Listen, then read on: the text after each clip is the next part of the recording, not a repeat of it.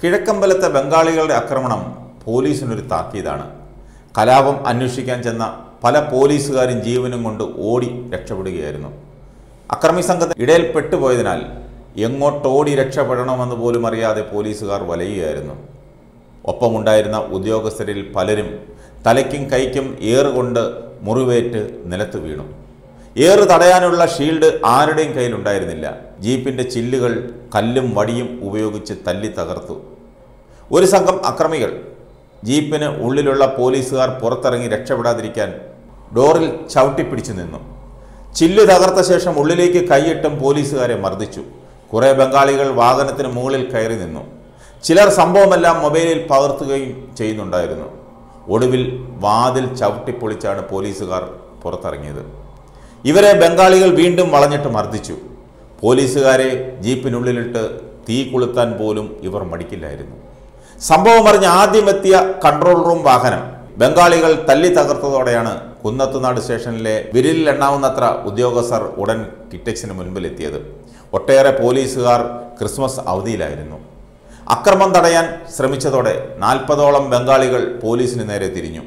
തമ്മിൽ തല്ലിക്കൊണ്ടിരുന്ന ഇരുവിഭാഗവും പോലീസിനെ ഒരുമിച്ച് ആക്രമിച്ചു. ജീപ്പിൽ നിന്ന് പോലീസുകാർ ഇറങ്ങി ഓടി. മിനിറ്റുകൾക്കുള്ളിലാണ് അക്രമികൾ ജീപ്പിന് തീ കൊളുത്തിയത്. ശക്തമായ കല്ലേറിൽ പോലീസിന് തുണയായത് നാട്ടുകാരുടെ ഹെൽമറ്റുകളാണ്. പ്രദേശത്ത് വെളിച്ചമില്ലാതിരുന്നതിനാൽ ടോർച്ച് ഉൾപ്പെടെ നൽകിയും നാട്ടുകാർ പോലീസിന് കൈത്താങ്ങായി. അക്രമം പ്രതീക്ഷിക്കാതെ എത്തിയതിനാൽ ഷീൽഡും ഹെൽമറ്റും ഫൈബർ ലാത്തിയും ഉൾപ്പെടെയുള്ള സംഘർഷം നേരിടാനുള്ള സാമഗ്രികളൊന്നും പോലീസിന്റെ പക്കലുണ്ടായിരുന്നില്ല. കല്ലുകൾ ചീറിയെത്തിയതോടെ പകച്ചു നിന്ന പോലീസിന് നാട്ടുകാർ ഹെൽമറ്റ് നൽകിയതോടെയാണ് അപകടം ഒഴിവാക്കാനായത്. തലയ്ക്കുള്ള എയറിൽ നിന്ന് ഒരു പരിധിവരെ സാധാരണ ഹെൽമറ്റുകൾ അവർക്ക് രക്ഷയൊരുക്കി. അക്രമം നടക്കുന്നത് ചിത്രീകരിക്കാൻ ശ്രമിച്ച നാട്ടുകാരെയും വെറുതെ വിട്ടില്ല. നാട്ടുകാർക്കും വീട്ടുകാർക്കും നേരെ കല്ലേറുണ്ടായി. നാട്ടുകാരുടെ മൊബൈൽ ഫോണുകൾ നശിപ്പിക്കുകയും ചെയ്തു. പോലീസുകാരെ ആക്രമിക്കുന്നത് കണ്ട നാട്ടുകാർ വിളിച്ചറിയിച്ചതോടെയാണ് സംഭവത്തിന്റെ ഗൗരവം കൺട്രോൾ റൂമിലുള്ളവർക്കും മനസ്സിലായത്. ഇതോടെ സമീപ സ്റ്റേഷനുകളിലേക്ക് വയർലെസ് സന്ദേശങ്ങൾ പാഞ്ഞു.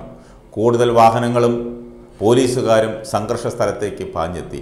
എന്നാൽ ഇവർക്കും നിയന്ത്രണ വിധേയരാക്കാൻ കഴിയാത്ത വിധം അഴിഞ്ഞാടുകയായിരുന്നു ബംഗാളികൾ.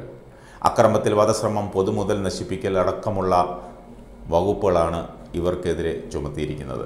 ബംഗാളികളുടെ ഈ കലാപം പോലീസിന്റെ പ്രത്യേക സംഘം അന്വേഷിക്കും.